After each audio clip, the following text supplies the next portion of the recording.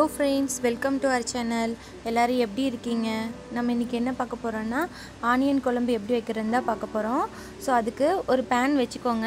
அதில் ரெண்டு டீஸ்பூன் அளவுக்கு மல்லி ஒரு டீஸ்பூன் அளவுக்கு கடலைப்பருப்பு அரை டீஸ்பூன் அளவுக்கு வெந்தயம். இது எல்லாத்தையுமே நல்லா வறுத்துக்கோங்க. எண்ணெயெல்லாம் எதுவுமே ஆட் பண்ண வேண்டாம்.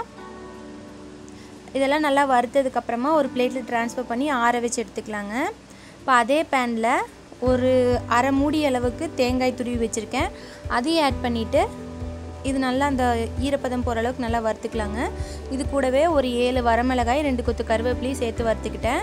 இப்போ இதுவும் நல்லா வறுபட்டதுக்கப்புறமா ஆறி மிக்ஸி ஜாரில் போட்டு அரைச்சி எடுத்துக்கலாம்.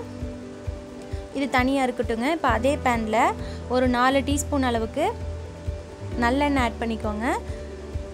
எண்ணெய் சூடானதுக்கப்புறமா கடுகு ஒரு டீஸ்பூன் உளுந்தம்பருப்பு ரெண்டு டீஸ்பூன் அளவுக்கு அதே மாதிரி ஒரு அரை டீஸ்பூன் அளவுக்கு வெந்தயம். வெந்தயம் வந்து மஸ்ட் ஆட் பண்ணுங்க. அப்போ தான் டேஸ்ட் நல்லாயிருக்கும். இது எல்லாமே நல்லா வறுபட்டுங்க. கூடவே ஒரு கொத்து கருவேப்பிலையும் ஆட் பண்ணிக்கலாம். இப்போ நல்லா அது தாளித்து விட்டதுக்கப்புறமா வெங்காயம் வந்து ஒரு பதினஞ்சு சின்ன வெங்காயம் ஒரு நாலஞ்சு பல் பூண்டு ஆட் பண்ணியிருக்கேன். இது எல்லாத்தையுமே நல்லா தாளித்து விட்டுக்கோங்க. நான் அந்த எண்ணெயிலே கொஞ்சம் வணங்குற அளவுக்கு. நல்லா வணங்கினதுக்கப்புறமா நம்ம மிக்சியில் போட்டு அரைச்சி வச்சுருந்தோம் இல்லைங்களா அந்த பொடி. அந்த பொடி வந்து நம்ம எண்ணெய் ஆட் பண்ணாதனால இதுலேயே நல்லா இந்த எண்ணெயிலே நல்லா வணங்கினோன்னா அந்த டேஸ்ட் கொஞ்சம் நல்லாயிருக்கும். நல்லா வணங்கினதுக்கப்புறமா நான் ஒரு எலுமிச்சம்பழ சைஸ் அளவுக்கு புளியை வந்து கரைச்சி வச்சுருக்கேங்க. அதை ஆட் பண்ணிட்டு நல்லா கலந்து விட்டுக்கோங்க. இது கூடவே ஒரு அரை டீஸ்பூன் அளவுக்கு மஞ்சள் தூள். அப்புறம் இந்த குழம்புக்கு தேவையான அளவு உப்பு. இது எல்லாத்தையுமே ஆட் பண்ணி நல்ல கெட்டியான பதம் வர வரைக்கும் நல்லா கொதிக்க வச்சு எடுத்துக்கோங்க.